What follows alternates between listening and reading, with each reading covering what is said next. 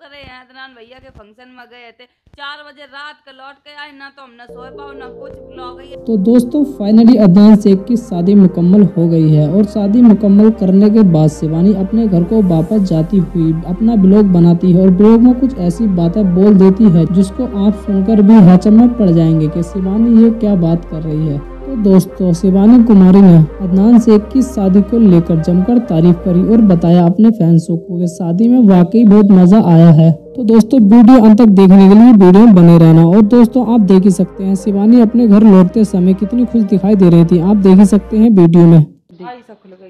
मुंबई में शादी में आग कैसो लगो तो। अच्छो लगो बहुत ये वीडियो देखा तेरे सब लोग मिले थे पहली बार इतनी बड़ी शादी देखी थी हम लोगों ने हाँ। अदनान भैया शादी शुदा हो गए अपनी बहू संगा खूब बड़ी अदनान की शादी में शिवानी कुमारी की तबीयत भी खराब हो गई थी जिसे उन्होंने अपने ब्लॉग में भी बताया है। के बाद खाना कहीं है मेरी तो आवाज़ भर आ रही है। गले में दिक्कत आएगी डॉक्टर को दिखाई जाए। करी है, अब आई नहीं कर नहीं, अब से कहा जाते कार लेकर। जानत तो आते ही की हम आ रहे हैं। जब बिग बॉस तो लौट के आए, तब देखो पचास कार लगी है अब सब खत्म। ऐसा नहीं हो सकता। कह दो कि ये झूठ है।